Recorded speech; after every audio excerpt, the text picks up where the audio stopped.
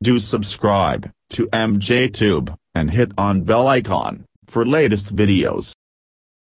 Hey guys, welcome back again. I'm MJ. In this video, I'll show you how to fix any problem of OneNote like OneNote is not, not working properly or crashing, not responding, whatever reason, I'll show the three steps to fix this problem.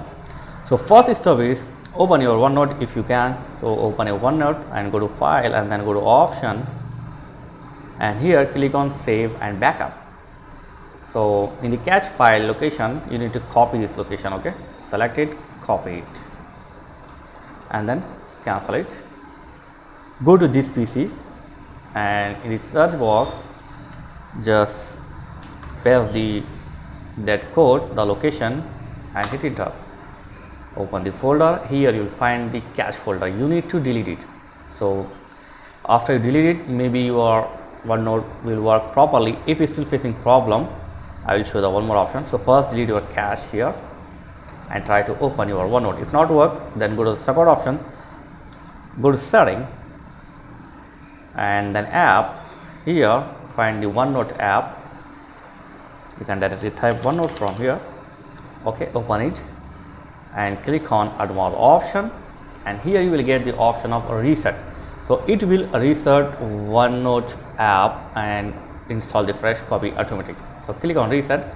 So it shows this app. Uh, this will permanently delete the app data on this device including your preference and sign in details. So you need to sign in again and uh, you need to set up your preferences after reset. So if you agree then go with the reset and try to open OneNote so this is a second and strong method to fix your any problem of your OneNote if you're still facing problem then the third option is same go to OneNote here and uninstall it so after you uninstall the OneNote from your PC, you need to install again. For this first uninstall and then after you uninstall go to store and in the store search for OneNote. Okay. Open the OneNote and install again into your PC.